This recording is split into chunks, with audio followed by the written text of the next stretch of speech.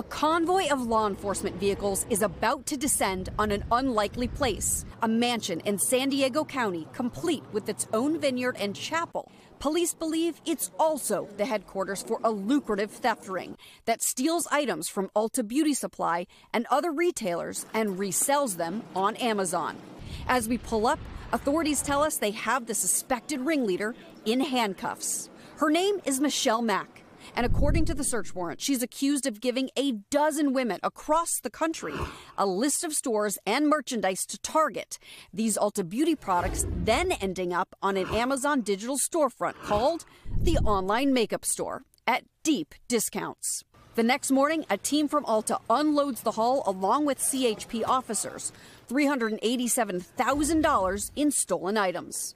I think people feel like it's it's hopeless. I want the retailers and the victims of this to know that that's not true. For months, we got exclusive access to the California Highway Patrol, watching up close how it fights organized retail crime. Retailers specifically pointing to theft as a growing problem in recent years include Target, Footlocker, Walgreens, and Ulta. We're absolutely fed up. Ulta Beauty CEO Dave Kimball spoke to us in an exclusive interview about the issue. What do you think in this case, as we're speaking of in California, that Amazon could have done to know that these were stolen goods? What I would say more broadly is there is technology available. There's uh, you know use of advanced analytics and data capabilities to try to understand behaviors that are indicative of reselling stolen goods. Amazon declined an on-camera interview, but a spokesperson said, "We invest more than 1 billion dollars annually and employ thousands of people to fight fraud,"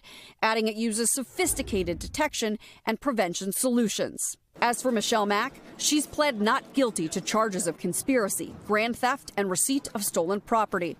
Her husband and seven others connected to the ring were also charged and pled not guilty.